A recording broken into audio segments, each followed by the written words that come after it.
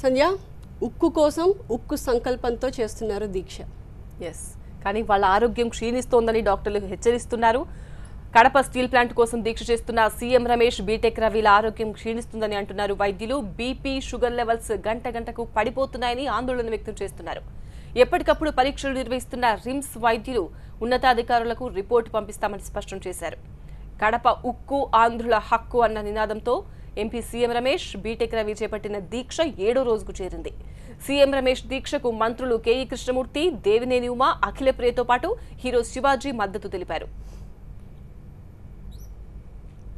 DMK MP Kanimozhi CM Ramesh దీక్షకు సంఘీభావం ప్రకటించారు. కడప దీక్షా స్థలికి వచ్చిన కనిమొళి సీఎం రమేష్ బీటెక్ రవిలను పరామర్శించారు.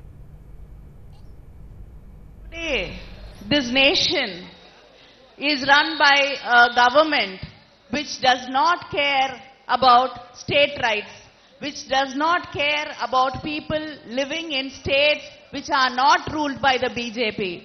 They do not fulfill promises. We have a prime minister who is a visiting prime minister to India.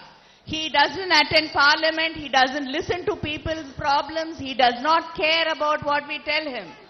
I remember when Andhra Pradesh was bifurcated, this Ramesh was there in the parliament, in front of all of us, protesting for months together, fighting for your rights. Day after day, he was holding a poster saying, Save Andhra, and he was saying the slogan again and again, Save Andhra. Today, he is fasting here along with Ravindranath Reddy, asking for rights which was promised rightfully to the people of the state. The Prime Minister, when he came here asking for votes, asking for your support, promising development to the entire nation.